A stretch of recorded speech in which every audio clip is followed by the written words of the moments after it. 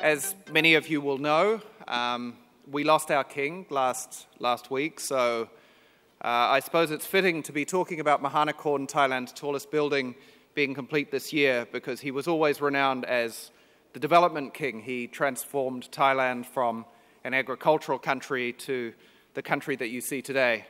Uh, so um, please bear with me.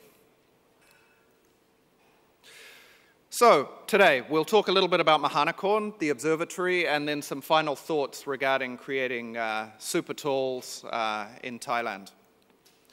So, what is Bangkok? It's part of the ASEAN trading bloc uh, within Thailand. It's our capital city. ASEAN is uh, 10 countries, 600 million people, uh, land area of 4.5 million square kilometres, extending all the way from Myanmar down to Indonesia. Uh, and if we zoom in, uh, you can see there it is uh, Bangkok, right in the center of Thailand. Zoom in a little bit further. Bangkok is a population of about 15 million people, so maybe not so different to Shenzhen. Has a very high number of tourists and a very similar climate to the weather that uh, we're experiencing at lunchtime outside. It's, it's warm. Now, historically, uh, as a city, it's a port it was famous for uh, its wildlife. We use um, the buffalo, we use elephants uh, to do the work, uh, and empty streets. But if we fast forward to today, well, streets are not quite so empty. It's, it's famous for bad traffic, famous for floods, uh, famous for crowds and crowds of people everywhere. But it's also famous for some good things as well. It's got great shopping, uh, great cultural attractions, and uh, it would be fair to say it's a. Um, it's a hub of construction at the moment, uh, for, from the airport through to buildings like MahaNakhon. And in terms of price, which is a driving factor for a lot of developers, uh, Bangkok is cheap. If we compare, it's cheap compared to Singapore, four to five times uh, the price in Singapore versus Bangkok, 10 times the price of Bangkok in Hong Kong, 12 in London, 8 to 15 times in New York. This is a driving factor why super tall can be financially viable in Bangkok because it is possible to uh, price a little bit higher than your competition and yet still remain regionally very attractive. On the flip side, why wouldn't you just build a super tall hotel? Uh, well, because our average room rate is very, very low. For those of you who like staying in great hotels, Bangkok is like ranked 53rd most expensive city it's uh, 126 uh, US dollars per night. And yet, maybe that's one of the reasons why we attract so many tourists. We get 18 million tourists a year to, uh, to Bangkok in the year 2015, uh, second only to London. I believe 2016 is the year that we actually surpass uh, London and become the world's most popular tourist city uh, which is a quite extraordinary statistic, but uh, it's a driving factor behind why we created MahaNakhon. And I suppose one of the interesting things for everybody that visits Thailand uh, is this awkward, yet not so awkward sit, sitting alongside of uh, the very cheap versus the very expensive, the street side food versus the uh, fine dining. You see it everywhere throughout the city.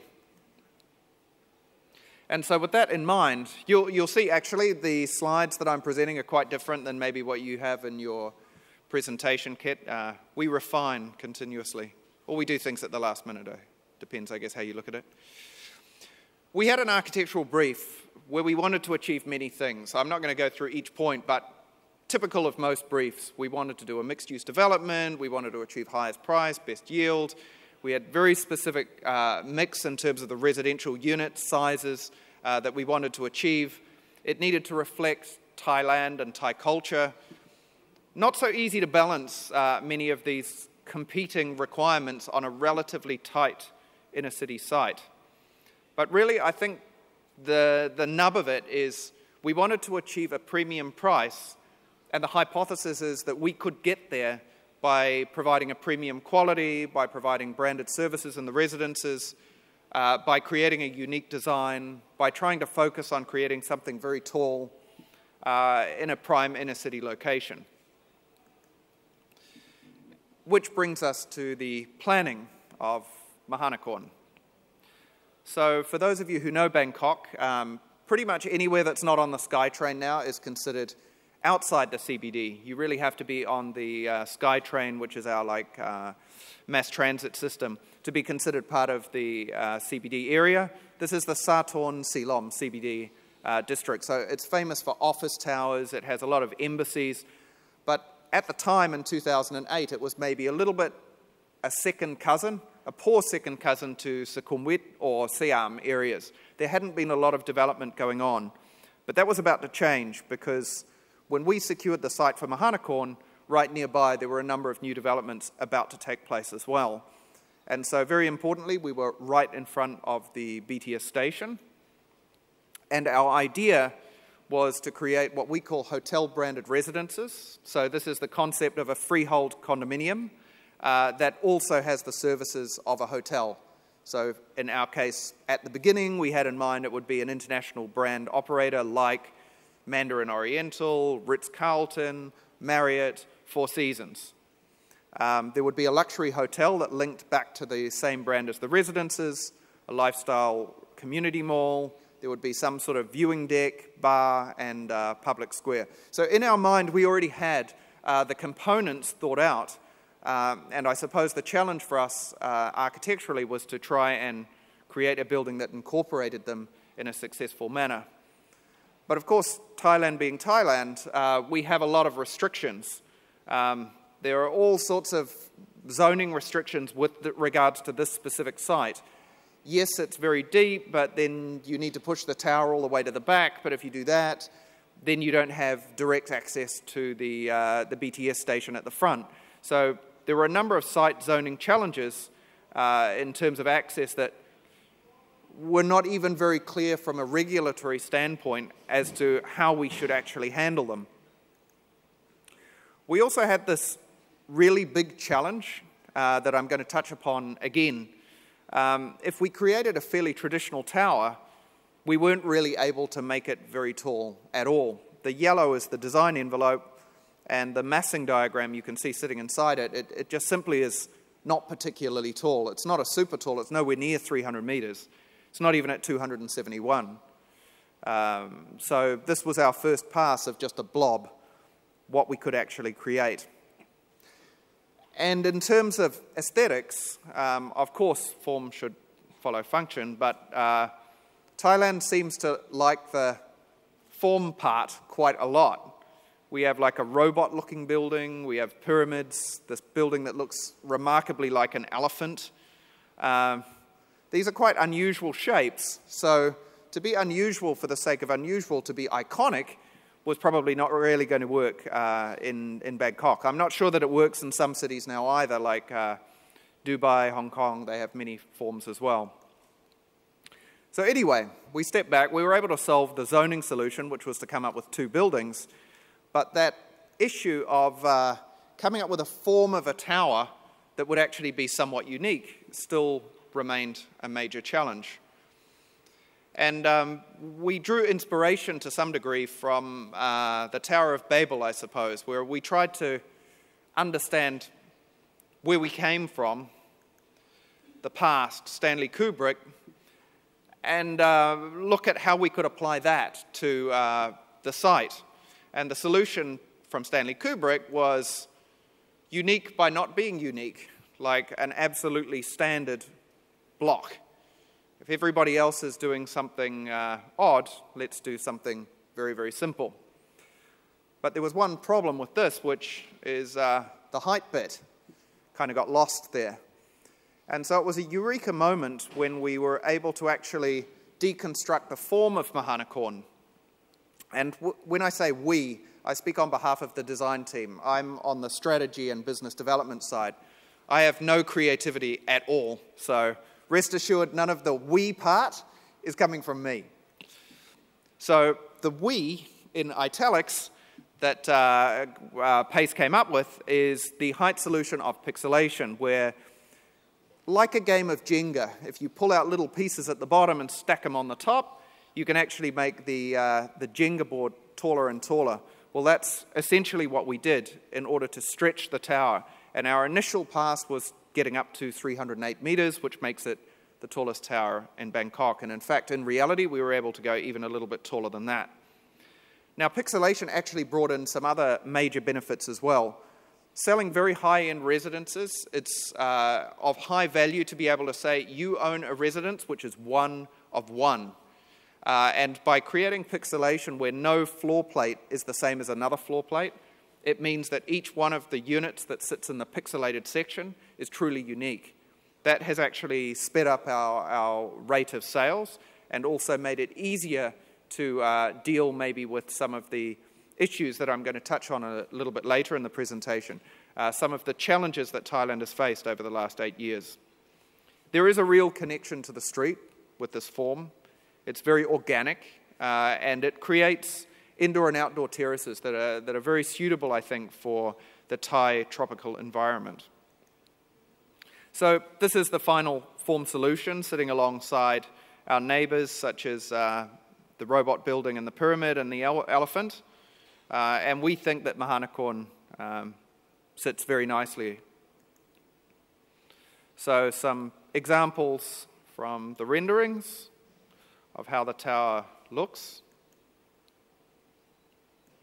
overlooking the city. Now, one, one question we were asked actually just over the last few, few hours when I was standing at the booth was so, why did you decide on the pixelation how it looks now? Like, why wasn't it like more uniform? We did actually try many different variations of the pixelation, uh, some extremely organic and decaying, uh, some less so. Tetris, if you ever played that game, you show how old you are um, pixel scale variation, uh, regular stepping, and it was our belief that the, uh, the pixelation that you see now is the optimum mix between uh, being organized and disorganized, as well as creating sufficient uh, outdoor space for each layout. Because bear in mind, you can't have one residence that's 100 square meters inside and 400 square meters outside uh, each uh, apartment has to actually be somewhat balanced in terms of the way that it's laid out. Uh, and then we, of course, have done facade studies. I, I think there are many facade experts that can uh, talk to this point of uh, how complex or how simple such a facade might be.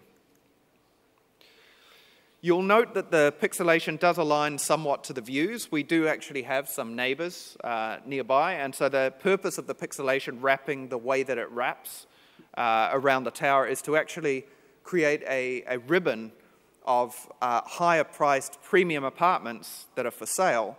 Uh, and these apartments actually tend to get the more uninterrupted views.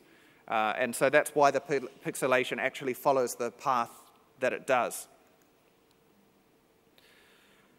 Now, if we move on to talking about how the building is structured in terms of the functionality inside, um, well, we have a number of things that we're trying to achieve. We have, uh, looking from a top down viewpoint, the public plaza, we have the retail, we have the residences, the hotel, the con- connectivity to the SkyTrain, and then the uh, facilities that need to back that up, like, for example, parking and uh, drop offs and so on but this is perhaps the easiest diagram to understand. Uh, this is how the building is actually laid out um, spatially. So you can see MahaNakhon Cube, the green one at the bottom, uh, is the retail complex. So retail, we want maximum footfall, so it's directly connected to the BTS. Residences and hotel, they want a little bit more privacy, so they're stepped back into the tower.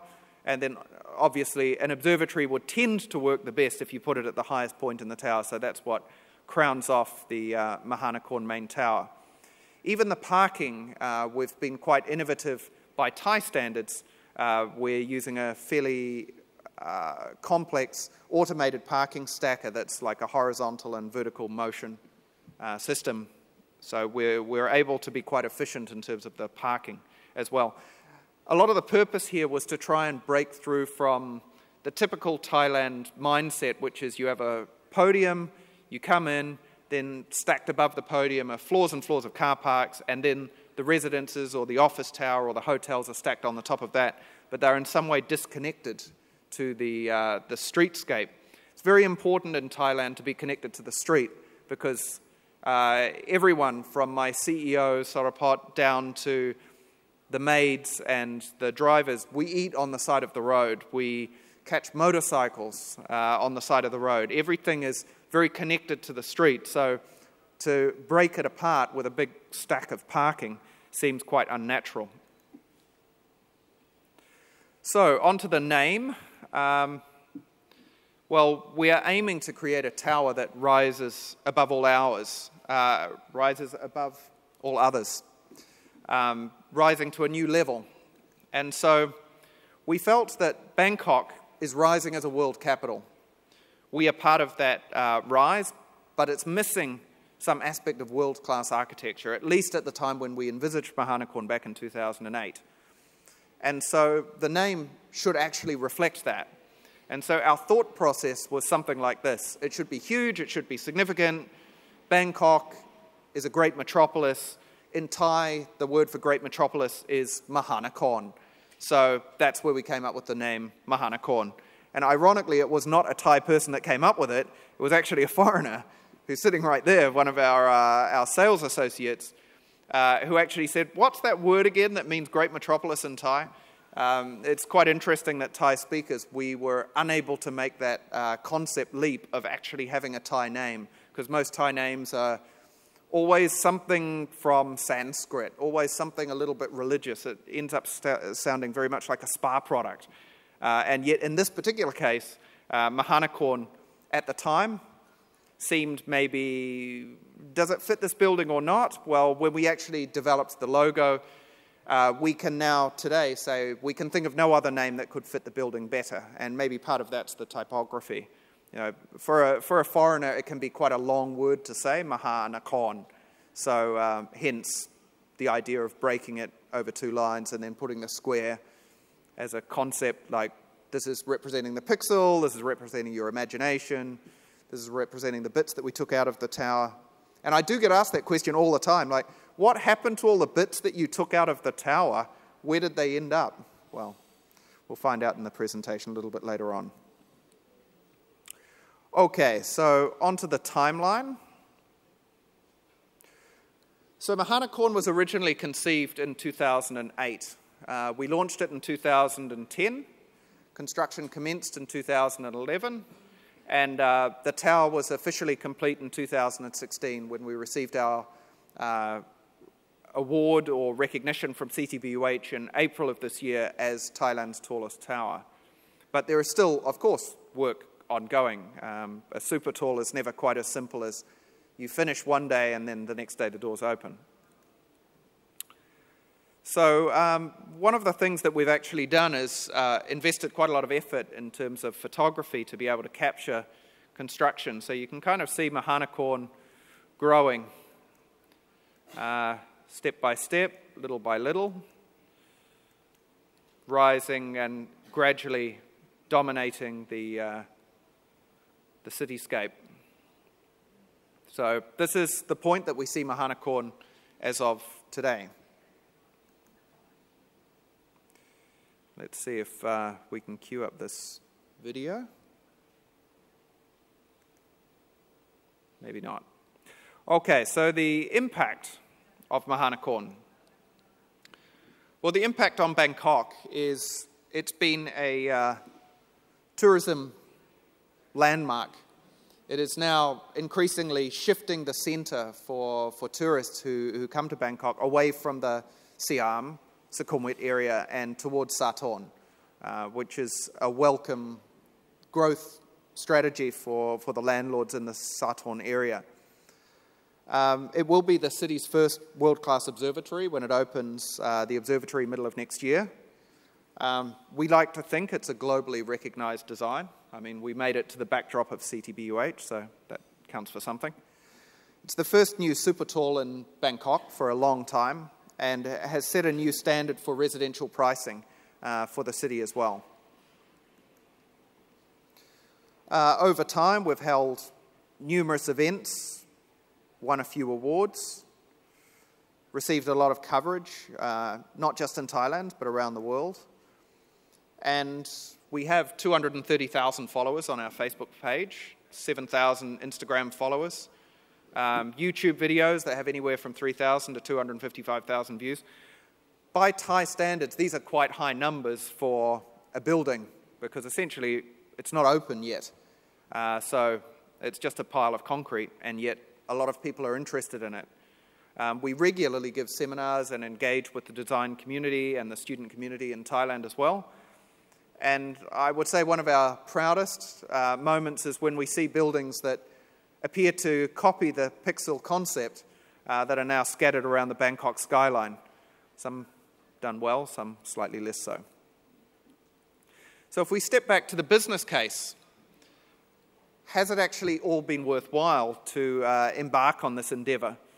Well, as a result of what we've come up with, we have been able to secure hospitality brands the Ritz Carlton, the Edition Hotel, which is Ian Schrager combined with Marriott. Uh, we've brought in numerous new to market brands that uh, would otherwise probably have never come to Thailand, including Dean and DeLuca, L'Atelier de Joël Robuchon, Vogue Lounge, Morimoto. Uh, and we've achieved, I would say, the highest average price per square metre to date uh, of any major Thai property development. We're at the point now where approximately 80% of the residences are sold. So I think it's fair to say that, yes, you can actually make a business case that super talls uh, of this mixed use type, um, type development where it's very residential centric, that they actually do work for uh, a Bangkok type environment. But as Frank Sinatra once said, the best is yet to come. I think we have to wait for another nine months when the entire tower is complete, and then we'll be able to see uh, the tower in its full glory. So, uh, recently um, we held a Night of Light celebration where we unveiled the building for the first time. Um, the lighting is actually custom for that one night. So if you go and visit Bangkok to, tomorrow, tomorrow evening, you won't see this light show every night. Uh, but to mark its opening, um, we lit the building up so we can see it from various angles, various lights.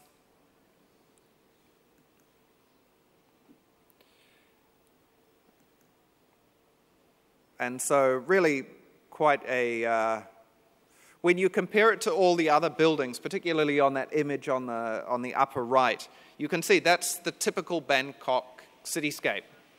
Uh, buildings that are optimized for the regulatory framework, buildings that maximize the GFA, buildings that are very efficient to build.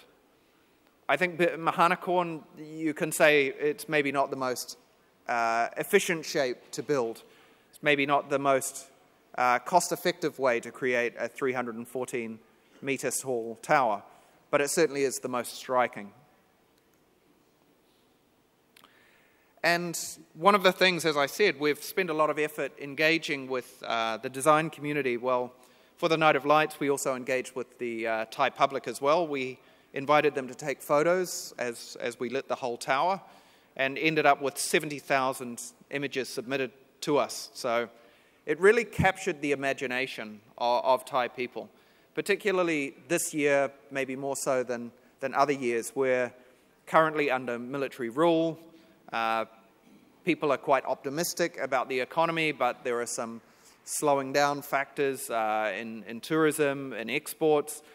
And so to be able to turn and look and see something that Thai people created really is of a global standard, I think has been a major source of pride for, for all Bangkokians. And so um, we were delighted to see that we made the front page of most newspapers, the hashtag uh, MahaNakhon, um, the Twitter feed, I think we were the number two subject uh, for that night of the 29th. These all reflects that suddenly a building is no longer just touching the hearts of somebody that wants to buy a residence, which is one of 209 people or somebody that might want to stay at the hotel in future, or somebody that might want to eat at Morimoto. This is actually touching everyone in Bangkok because now MahaNakhon is so dominant in terms of the skyline of Bangkok. And not everyone likes MahaNakhon, incidentally. There are some people that cannot stand it. But uh, I think great architecture should have that effect on people that you may not love it, you may not hate it, but uh, it evokes some form of emotion in you if it evokes nothing, then it's probably bland architecture. Okay, I'm going to step back a little bit from uh, the form of the building and, and Night of Lights and talk a little bit about the program components, again, in a little bit more detail. So, we have five main elements within our property. So, the Ritz Carlton residences, uh, which are our hotel branded freehold residences, there's 209 of them. The Edition Hotel, which is created by Ian Schrager and Marriott. Uh, the Cube, which is the retail centre MahaNakhon Square, which is actually a public plaza at the front, and then the observatory, which I'll spend most of my time in the second half of this session uh, concentrating on. So, first of all, the Ritz Carlton residences. Um, we have many unique layouts simplex, duplex layouts from 120 to 1500 square meters, two to five bedrooms. We're pushing around 80% sold. At the time that we launched, we were by far the highest price in Bangkok. Um, I'm not sure that we have the highest asking price now in Bangkok. I think there are some developments that have come after us. Uh, as is always the case, selling on paper um, is always maybe you can ask whatever you want. Whether you can actually sell it or not is another question. Uh, however, I think on average we have achieved the highest average sale, sale price per square meter uh, consistently every year for uh, the time that we've been selling the Ritz Carlton Residences Bangkok. So, this is the benefit of that pixelation concept. You see, uh, this is what we call a skybox. So, it's a cantilevered room that stands out uh, from the main form of the building. You get 270 degree views. Um, many of our clients ask if they can jump up and down on the cantilevered section. I would hope so. And then this is uh, examples of the interior finishing. So we have a very high standard of finishing because it's uh, bringing in a brand, the Ritz Carlton residences. Uh, they sign off on every little detail from the ceiling height through to the choice of lights, through to even how the parking signage works. So every aspect is reviewed by them. So we think it's of a very high standard. This is the bathroom. And yes, we provide that huge tub in the middle.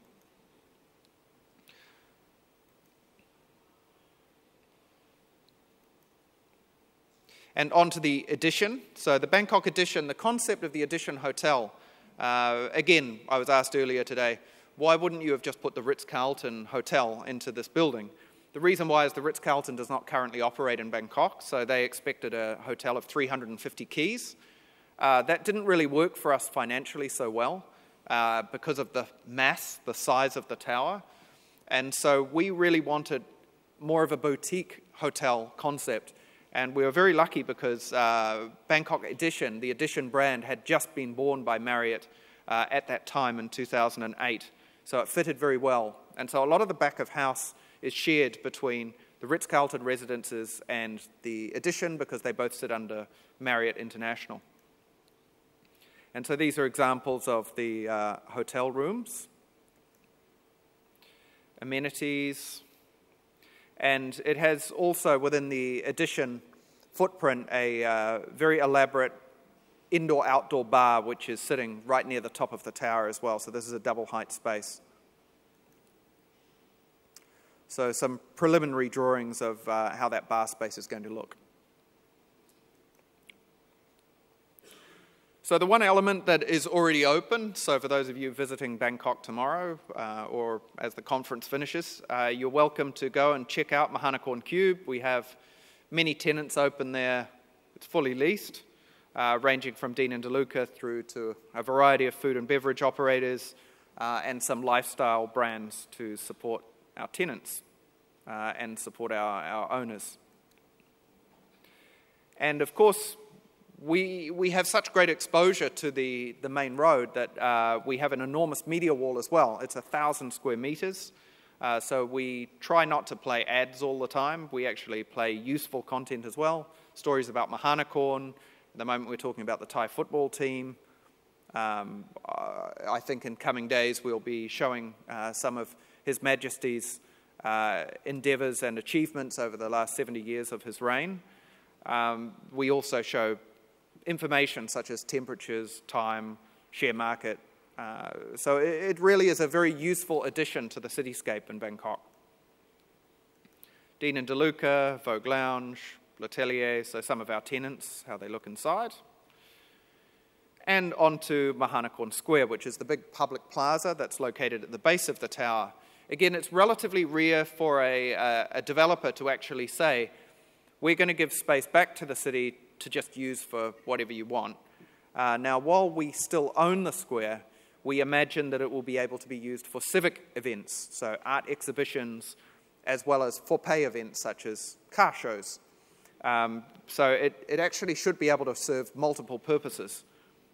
And it provides a great lead in to uh, the heart of the city. So perhaps, who knows, the next revolution might even be organized there. So, on to the observatory, which is the second part of the presentation, uh, the shorter part of the presentation, I think. The purpose of the observatory, since we've built Thailand's tallest tower, is to provide a 360 degree, 360 degree view uh, of the city. And in fact, from this viewpoint, you can see all the way to the ocean, uh, which is quite nice. So, there it is sitting at the top. So, our idea in terms of foot flow is people come in through the square, um, they access to the observatory, they purchase their tickets, and then they flow up through the tower. They go up in a high speed lift, takes about 40 seconds, they arrive at level 74. They then walk their way up or use uh, a smaller lift system to get to the roof. They then are able to take selfies, pics, as, as we do in uh, modern life. Then they transfer down on a separate floor on level 75, all the way back down to the exhibition space, and then they flow through exhibition and retail back to the exit. You'll note that we segregate where they come in and where they go out onto different floors. It's all to do with traffic planning. And really, the observatory has been an almighty uh, challenge in terms of logistics because every other aspect of what we do with MahaNakhon is dealing with small numbers. We have 209 residences, meaning we have 209 owners. The observatory, we're talking about like 5,000 people a day. So it's all about efficiency. If you can get slightly more efficiency, just one second here, one second there, in terms of how the lift runs, you can increase the number of people that you can welcome to the observatory and thus increase the revenue. So let's go back to the walkthrough. So people come in, a lot of these are preliminary diagrams. They pay for their ticket, they ride up the lift, and 39 seconds up to the 74th floor. And then once they get to the 74th floor, they get their first glimpse of the city. So this is the indoor space where they're able to see um, right across uh, the city of Bangkok. They can walk all the way around if they wish, 360 degrees. It's very important that we still have some degree of control because Bangkok's weather, when it rains, it really rains. Uh, and so, for those days when it's pouring with rain, we still have the ability to provide an indoor tour. Also, the heat becomes uh, fairly unbearable in April and May on the rooftop. So, these are examples of uh, people looking out, seeing the view, and exploring, spending time. We then push them up one more floor. So, we encourage them to flow from the 74th to the 75th floor which is where they start to access to go higher. And the 75th floor is also where they come back down again as well. So we, we try and avoid people colliding in opposite directions. That's one of the advantages, I suppose, of designing the observatory from the ground up, so to speak. So up they come, they have uh, places to queue, and then they flow up through a uh, quite elaborate spiral staircase with hydraulic elevator in the middle and that takes them to the top floor, which is uh, level 78, which is an outdoor viewing platform. So up they come, and there we are, right at the top of uh, MahaNakhon. So they're standing at the highest point in Bangkok. What is maybe unique about our tower compared to some others is they're standing on top of the lift overrun. So if you actually want to get a 360 degree view, uh, let's say, you know, using mobile phone technology or a GoPro, you can literally just spin it around in your hand and you will get the full 360 degree view. In most towers that we've visited, uh, the core is still in your way. So if you would want to get that shot, you would have to walk right around the core, which is in the middle. Uh, possible, but maybe not quite so appealing. And so we get views all the way across to the river. And this is looking down. Um, now, there's one little odd thing you'll see sticking out to the side there. We call that the sky tray. And this is what we consider to be the climax of the experience. So it's a cantilevered uh, sheet of laminated glass, so it extends out beyond the building. Uh, people can walk out there, jump up and down, look down 314 meters all the way to the ground. Um, and I don't know, I, I, have been up there. It's so high that it starts to get to the point that for somebody who's, not, who, who's a little bit scared of heights, maybe it's not so scary anymore because it's high enough to not be scary. But if you are scared of heights, I, I think it could be you know, quite, quite interesting. And that's the sky tray, so we can see it poking out to one side. Some of these shots are still under construction, so um, I, I, think the glass is not installed yet. So if I do take you up onto the top of the tower, please make sure I remind you whether the glass has been installed or not. Otherwise, you might not need the high speed lift down. So these are the uh, views. So, daytime to the south, you can see the river in the distance. That blue line is the sea. And then uh, the eastern view, you're looking across the Silom Satorn business district over towards Sukhumvit. Um, and the view to the north is equally stunning. Spatially, this gives you an idea of how it's all laid out. So, the observatory is a self contained piece, separated in the middle from the 74, 75, and 78 with the indoor bar, the indoor outdoor bar, which is operated by the Edition. So, they share a common lift core, but the operating hours are quite different. So we believe that we're going to be able to balance this. It's all about lift operations when it comes to observatories because it's so expensive to run the lift all the way through the tower to get to the top. The actual floor area at the top is, uh, is neither here nor there. So, some more pictures of the indoor outdoor bar, double height space. I think we've seen this already. But all good things must come to an end, so I'll just walk you through the uh, experience of going back down again. So, the spiral staircase or the hydraulic lift. Down they go. They get off on level 75, and this is where they get into the lift so they don't collide with the people coming up to 74. So the lift is always only bringing people up or only taking people down. When they get to level 74, uh, 75, sorry, and drop down to level 4, we then walk them through an exhibition which is telling them a story about Thailand, about Bangkok, uh, and also because I come from a retail background, I'm going to be selling them souvenirs. This is what keeps me up every night. What souvenirs will I sell them? Shirts, keychains, all kinds of you know, really, really classy stuff. Uh, but seriously, uh, it, it is actually worthwhile to, to understand that in Thailand we have museums. Every, every city has great museums, but they're not commonly visited. People like uh, I would say, edutainment, uh, commercialism that combines something a little bit cultural with something that they can actually seize, take home, put in their hand, buy. And that's why our probably number one and number two tourist destinations at the moment in Thailand are not um, the National Museum. Uh, they are actually Suvarnabhumi Airport, I think, is, is the number one Instagram photograph place, and Siam Paragon, which is a shopping mall.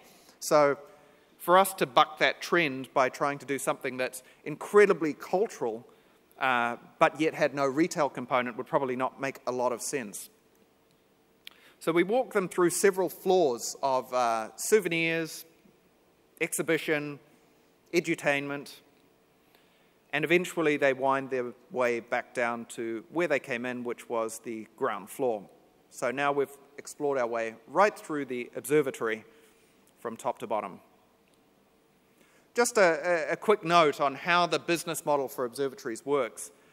Basically, you charge a price, you get a whole lot of people coming in every day, you get a whole lot of annual visits, you sell them some tickets, you sell them some souvenirs, and ultimately it should actually increase the value of your development.